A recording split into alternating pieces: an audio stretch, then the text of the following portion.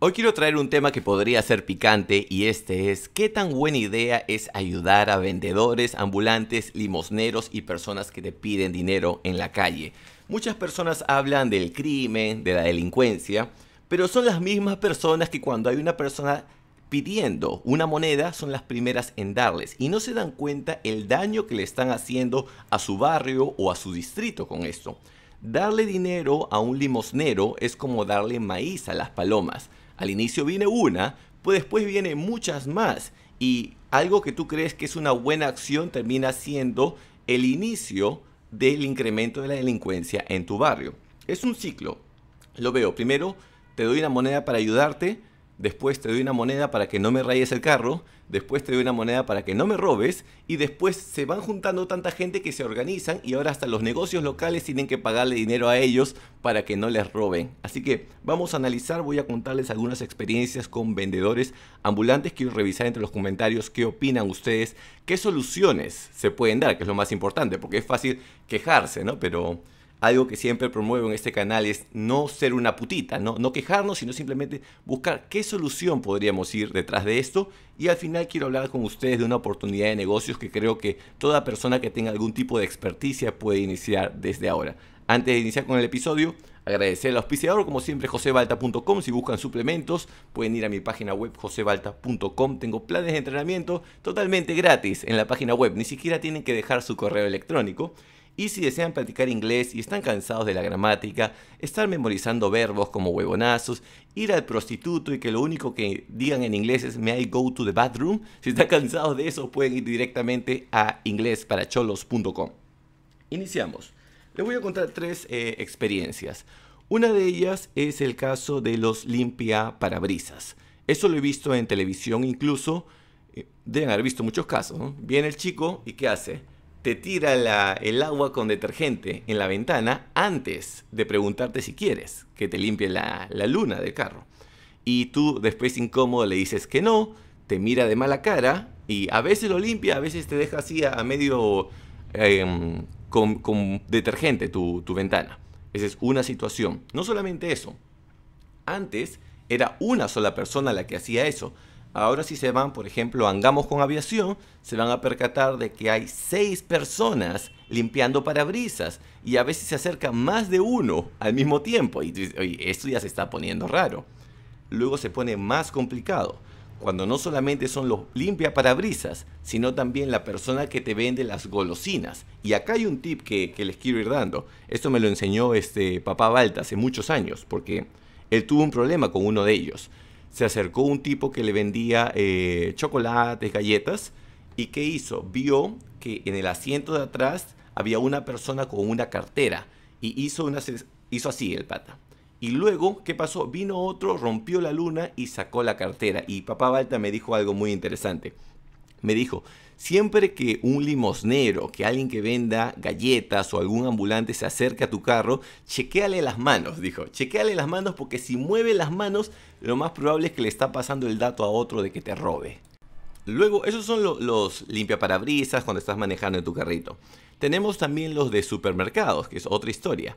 Estás yendo a, Metro, por ejemplo, y sales y hay una persona vendiéndote paltitas. No, no baltitas, pero paltitas, eh, abocados te está vendiendo paltitas, eh, inicialmente la persona se paraba saliendo del centro comercial y si tú querías comprabas la paltita. Pero ahora estas mujeres con su triciclo se van pasando entre los carros. Y justo mamá Ledesma había hecho sus compras en metro y cuando está guardando las cosas pasa la hija de la chica y la hija de la chica ya quería meterle mano a la canasta de las compras que ella tenía. Entonces, con la excusa de que estoy vendiendo los, las, paltitas, los, abocados van chequeando y van sacando las cosas. Cada vez que uno le compra, lo que está haciendo es fomentar eso. Y bueno, fuera que la cosa queda ahí, que ya está jodida. El tema es que estamos llamando más gente y más gente. El que saca dinero le dice a su amigo, oye, ven que esta zona está buena. Luego ya no es uno, son dos. Luego viene un líder que organiza esos cinco y después la vaina se va jodiendo cada vez más. Tenemos zonas que antes eran tranquilas, como por ejemplo Chacarilla, eh, Caminos del Inca, donde una chica antes podía caminar tranquila, ahora ya no puede porque está el grupo de chicos que no solamente la silban, le toman foto Y si no hay nadie, quién sabe qué le puede pasar. Y un caso más que quería tocar respecto al tema de los ambulantes es el tema de los tricicleros, que también se ha puesto de moda.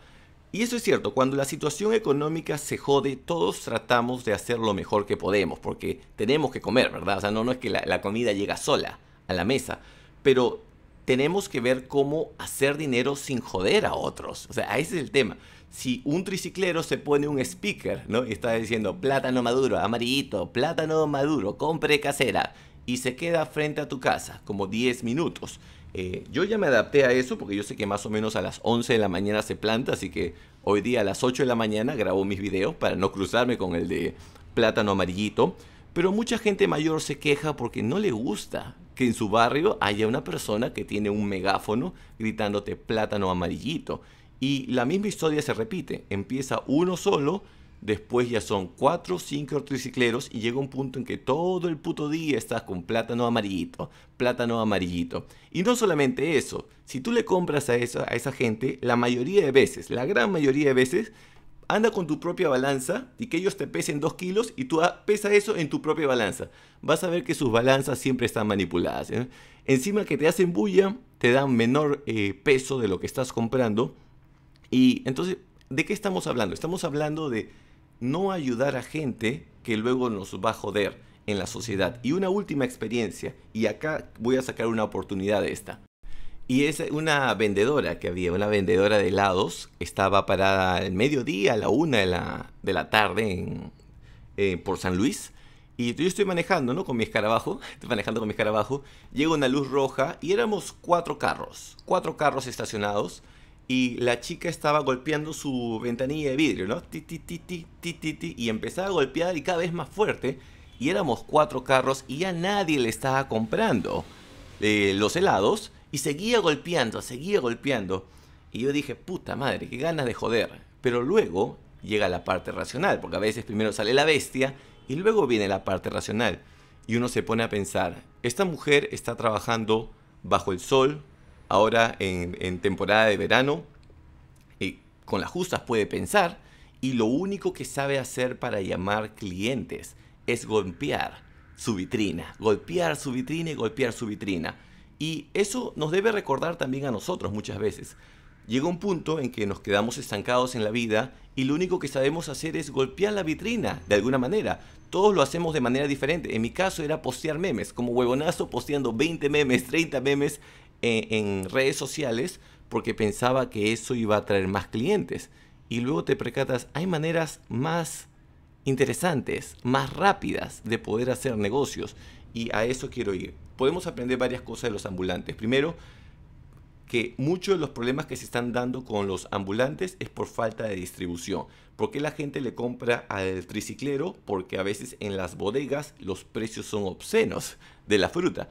Y si alguien puede traer las cosas de Gamarra, del centro, a un mejor precio y tenerlo en centros de acopio, va a hacer que la gente pueda tener mejor acceso a los precios y uno puede ser el que maneje eso. Luego, el otro punto con el tema de la, heladera. Uno quiere llamar la atención y tenemos ahora influencers también cayendo en eso, ¿no? Posteando a cada rato, posteando 20 veces al día para llamar la atención. Nosotros no queremos ser eso.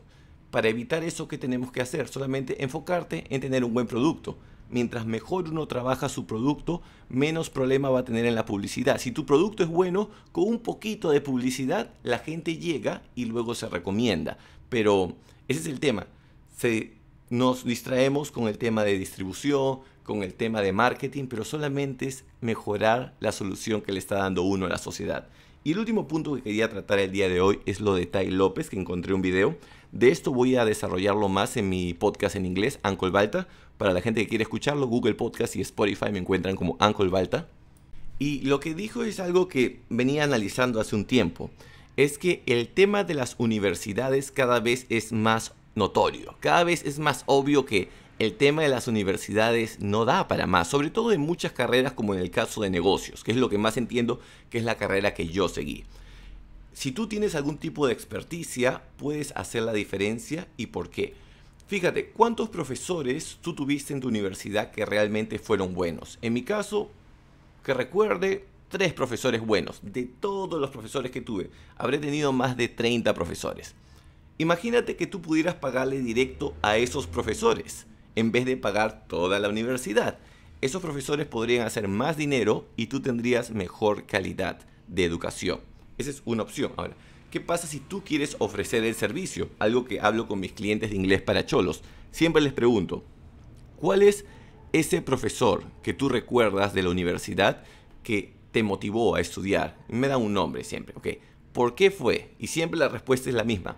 Porque hacía simple el curso y lo conectaba con nuestro día a día. Y eso es lo que hay que hacer.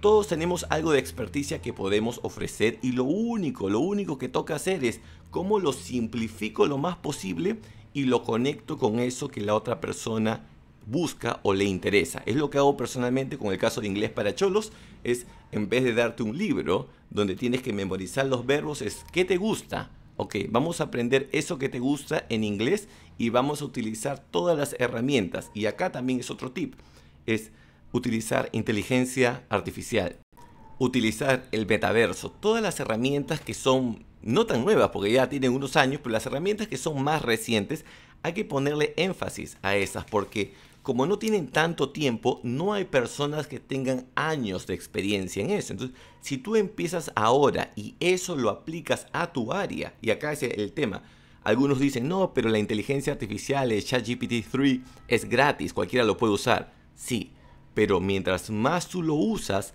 más trucos le vas sacando. Y todos pueden tener la misma herramienta, no, no hablo de, de la herramienta de abajo, pero es cómo la usas. Es como un gimnasio, por ejemplo un rack de sentadillas con una barra olímpica. Si sabes usar, sabes hacer los ejercicios compuestos, vas a tener un buen físico. Si no sabes utilizarlo, vas a quedar con un cuerpo decadente. Una buena cámara fotográfica también. Una buena cámara fotográfica no hace un buen fotógrafo. Lo mismo sucede con inteligencia artificial. Si uno se especializa, en mi caso es idiomas y fitness. Y otro tip adicional es no solamente se trata de usarlo, sino enseñarle a tus clientes a usarlo para que ellos no dependan de ti. Y algo que la gran mayoría de profesionales hoy en día hace es trata de generar lo opuesto, que el cliente dependa de uno para que siempre me llame. Y no, uno tiene que darle todas las herramientas que tiene y dice, sí, pero después ya no me va a necesitar. Se asume que nosotros siempre estamos investigando, así que siempre vamos a tener más herramientas porque van saliendo para compartir con los clientes y si le facilitamos la vida a nuestra gente, ellos mismos van a traer a más amigos. Eh, hablo del tema de educación, hablo del tema de fitness, muchos psicólogos que hay que a veces me dicen, oye, no hay trabajo, puta, hay tanta gente loca, solamente es conectar tu experticia con la persona que lo necesita. Y como me dijo mi acupunturista, que en paz descanse, David Kant, es saber empacar la galleta. Es mostrar lo que tú tienes al cliente de una manera sencilla. No lo cargues mucho porque si no, pues, sobre todo ahora que solamente chequea por celular la información se marea. Recontra sencillo pero conciso, mostrando por qué esto va a hacer tu vida más sencilla. ¿Por qué esto que te va a tomar, eh, en mi caso, ¿no? en el caso de inglés para cholos, en vez de ir al británico o a la ligna por tres años, ¿cómo puedes hacer lo mismo en cuatro meses? Menos tiempo, más entretenido y sobre todo mostrar que hay resultados. Mientras más seguridad el cliente tiene que lo que tú ofreces funciona, es más fácil de que él te compre y no tienes que estar eh, convenciendo a nadie porque los resultados son tangibles. Espero que les haya gustado este episodio. Eh, quiero revisar sus comentarios, qué opinan del tema de los eh, vendedores ambulantes y si están interesados en este tema que he hablado de cómo monetizar tu experticia creando cursos tú mismo y generar una comunidad, voy a hacer un episodio de esto en unas horas en mi podcast Uncle Balta en Google Podcast y Spotify. Si desean trabajar conmigo, josebalta.com para suplementos, inglesparacholos.com, inglesparacholos.com para el tema de inglés, o pueden escribirme de manera directa solamente para negocios al WhatsApp más 51 9890 23 986. Estos podcasts los encuentran también en, en español, Google Podcast y Spotify con mi nombre José Balta.